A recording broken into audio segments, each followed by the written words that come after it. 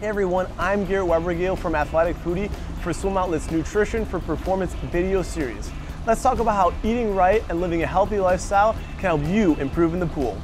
Athletes ask me all the time how they can have better nutrition. Here's some of the answers.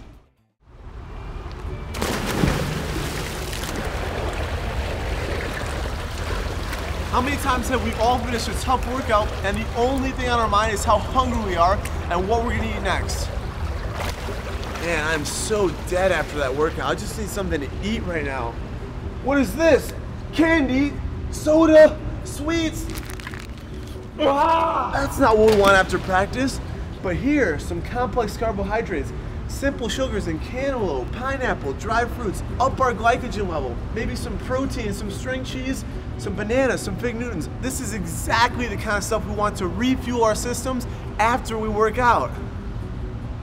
Man, that was an awesome workout. Now I just need something to immediately replenish myself. I love to have a banana right away after workout along with my protein shake.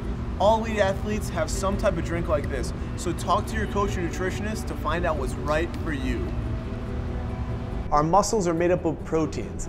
As we work out, these proteins get broken down and it's essential we replenish them by adding back in proteins and other nutrients. Some great sources of proteins are kale, eggs, cheese, hummus, and almonds.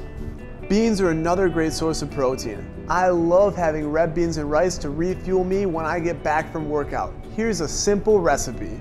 Chop the garlic with oil on the cutting board so the garlic doesn't stick to the knife. Chop the onion and also chop the green pepper. Saute all three in a pan with olive oil. Cook the beans until tender and add them to the pan. Also add apple cider vinegar, brown sugar, sliced almonds, and water or vegetable stock. Simmer for one hour. Simple sugars and complex carbohydrates help replenish our glycogen and protein stores. This also helps aid in the regrowth of our muscle fibers within 20 to 30 minutes post-workout. So remember, the faster we can eat these sources of nourishment after practice, the faster our bodies can recover and prepare for the next workout. Mmm, man, that tastes great. I'm Garrett Weber-Gale from Athletic Foodie for Swim Outlet. Make sure to visit Swim Outlet's nutrition section for organic snacks and lots more to fuel your workouts and speed your recovery.